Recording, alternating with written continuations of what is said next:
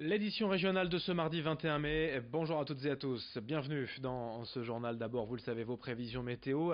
Avec de nouveau du soleil, du ciel bleu, une fois passé, dissipé ces nuages bas, hein, ce matin, la grisaille du début de journée. On va profiter aujourd'hui de belles éclaircies, malgré parfois quelques passages et voiles nuageux sans conséquence. Du soleil donc pour tout le monde, du littoral à la métropole lilloise.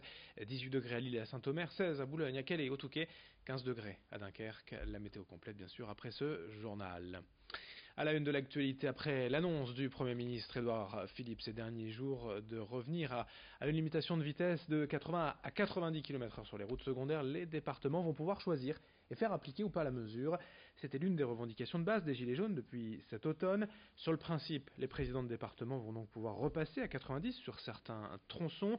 Dans le Pas-de-Calais, le socialiste Jean-Claude Leroy n'aime pas ces changements d'avis du gouvernement et a sévèrement critiqué cette manière de faire. Il annonce une concertation avec les gestionnaires du réseau et les usagers. Dans le Nord, Jean-René Le Cerf, lui, se dit globalement favorable au retour à 90 km par heure, même s'il veut décider au cas par cas. On l'écoute au micro de Lucille Berthe Constant.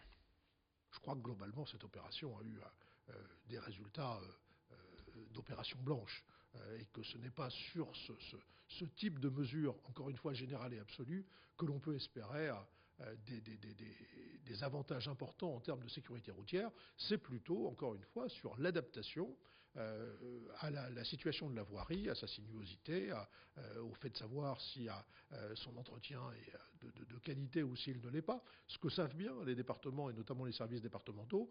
Donc je crois que c'est une solution qui aujourd'hui est une solution de bon sens.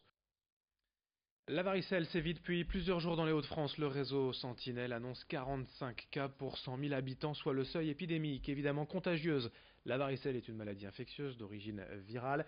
Désagréable mais bénigne chez l'enfant, elle peut s'avérer bien plus grave chez l'adulte, notamment chez les femmes enceintes lesquels ne peuvent pas être vaccinés doivent donc être surveillés de près pour éviter toute complication pour le fœtus. En France, chaque année en moyenne, près de 700 000 cas sont enregistrés pour environ 3 000 hospitalisations et 20 décès. En cas de doute, n'hésitez pas à en parler à votre médecin. Explication d'une spécialiste recueillie par Edil Gunaï. La contamination, elle se fait par euh, voie respiratoire ou par contact direct avec la vésicule donc, quand quelqu'un a la varicelle, il est certain qu'il faut éviter d'aller à son contact euh, ou euh, de le toucher ou d'être trop près.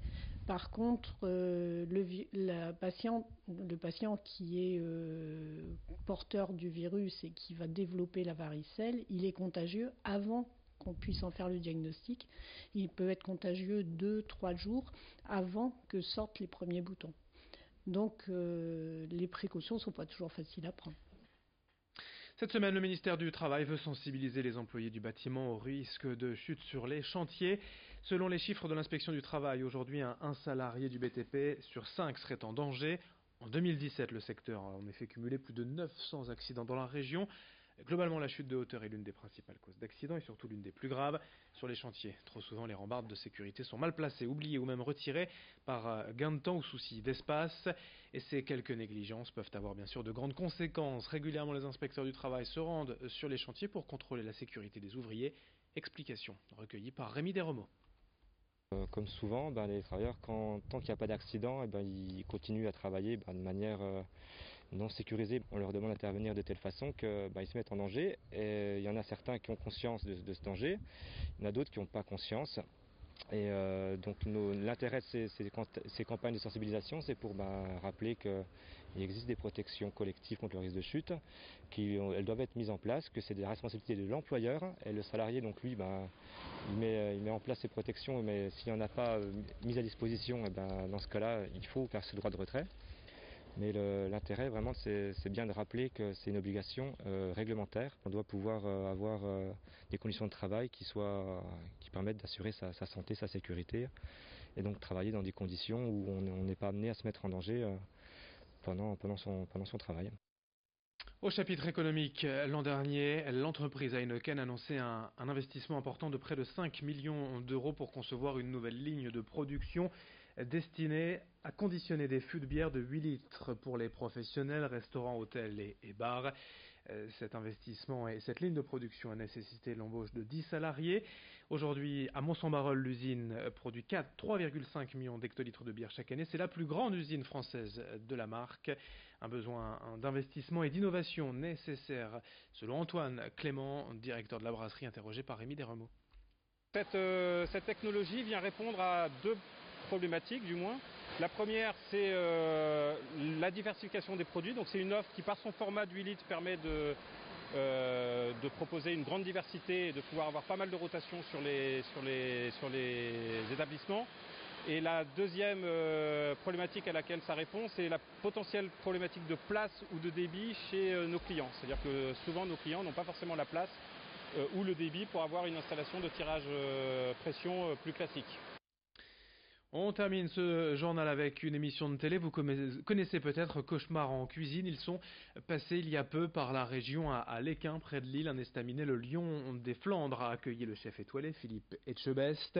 Marie-Claude et Pascal, les deux gérants au fort caractère, l'ont reçu. Mais cette rencontre a fait des étincelles et le restaurant nordiste en a semble-t-il profité. Les équipes de M6 sont venues tourner l'émission en janvier dernier et depuis quelques semaines, au-delà des phrases cultes et des images chocs qui restent de l'émission, la clientèle est de retour au Lyon des Flandres, des curieux, des habitués aussi qui apprécient l'ambiance locale. Vincent Vieillard est allé à l'Équin rencontrer Pascal Montagne, le gérant. Le tournage, ça c'est bon. Déjà, on n'était pas, on n'est jamais prévenu qu'ils arrivent. On est prévenu qu'on est susceptible d'être pris dans l'émission. Mais bon, euh, ils viennent pour faire un complément de, ils nous disent qu'ils viennent pour faire un complément pour euh, booster le dossier et puis qu'on est trop dans le nord et de prix et puis du et puis on voit le chef arriver. Bon, c'est quand même une grande surprise de voir un chef étoilé qui arrive dans un petit dans un petit estaminet des Flandres.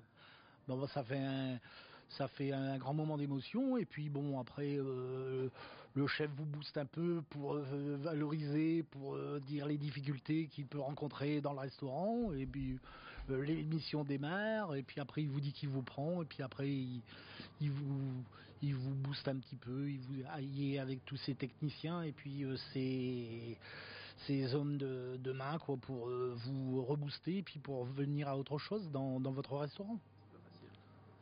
C'est un peu compliqué, c'est sûr. Mais bon, on termine ainsi ce journal. Ravi d'être en votre compagnie en ce mardi 21 mai. L'édition se poursuit dans un instant. Vos prévisions météo et un nouveau journal régional dans 8 minutes des prochains quarts d'heure.